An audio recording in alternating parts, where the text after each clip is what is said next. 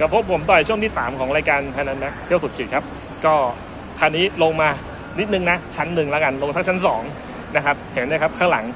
สวยงามมากๆ รับอลังการตะการตามาก ๆนะครับ ก็จะเป็นเหมือนเขาประดับไฟอะไรสักอย่างหนึ่งนะครับ สวยมากๆ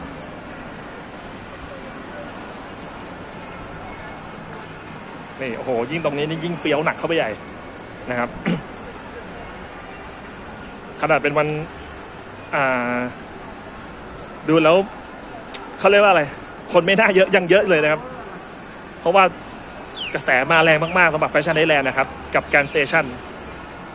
แล้วก็นี่ครับนี่หันไปมองบนฟ้านะครับผม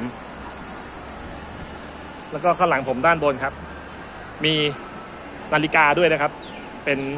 อ่าเป็นแบบเข็มนะ ค่อนข้างยุโรปนิดนึงนะครับ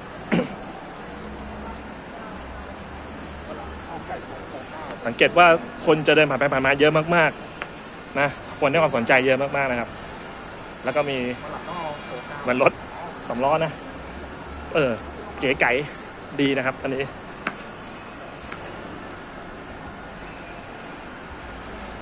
แล้วก็ที่นั่งก็ไม่เหมือนใครดีนะครับผม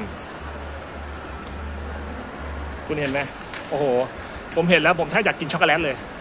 สีมันออกช็อกโกแลตเลย มีทั้งน้ำตาลมีทั้งแดงอะไรอย่างเงี้ยนะ โอ้โหเฟี้ยวไม่เบานะครับ แล้วก็นี่ครับใส่แว่นนะครับ มาอย่างพระเอกเลยนะครับ มีแกนสเตชันด้วยเห็นไหมเนี่ย อ่านยากมากนี่อันนี้นี่นี่อ่าโอ้สุดยอดนะครับ แสงค่อนข้างแรงทีเดียวนะครับ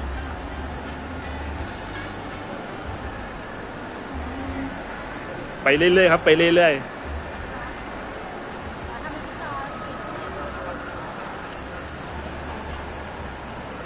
นะครับแล้วครับ